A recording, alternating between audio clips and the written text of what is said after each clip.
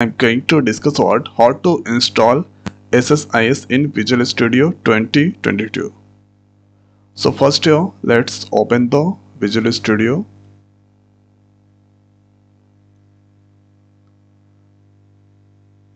So after that, open any project and there you can get extension. So click on this extension then click on this manage extension. So this place you need to search here integration service.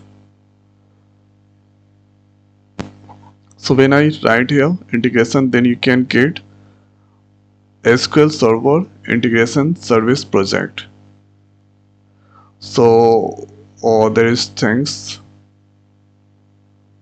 So here you can see project is may be used for building high profile data integration workflow solution extract transfer load operation for data warehousing.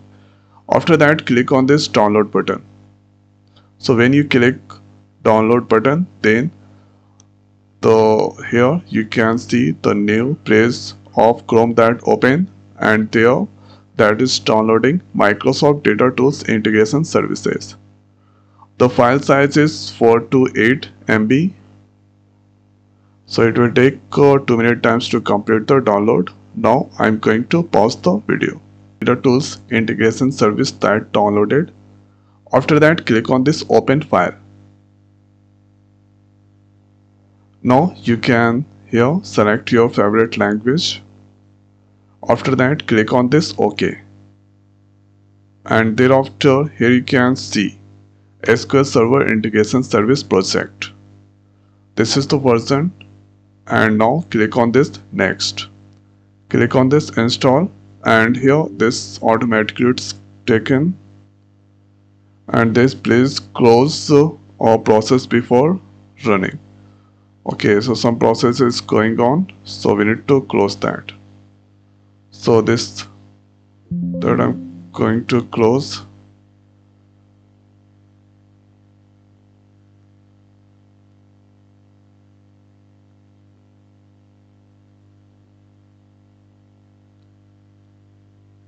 now let's uh, click on this install once again.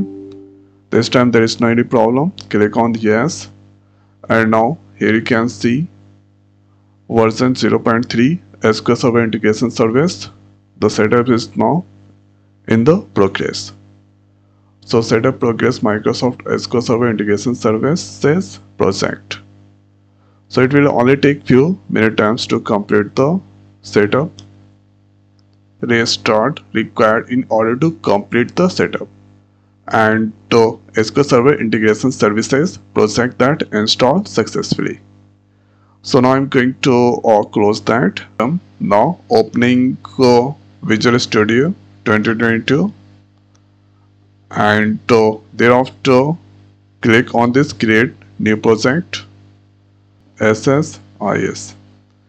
Now you can see here integration service integration service project Azure enable integration service import wizard.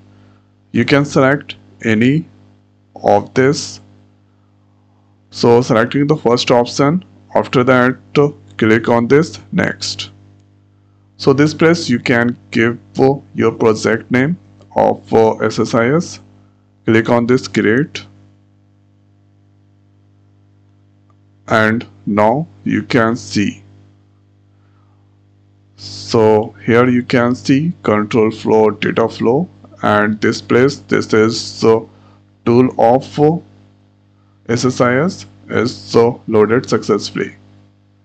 And after that you can work there. Okay.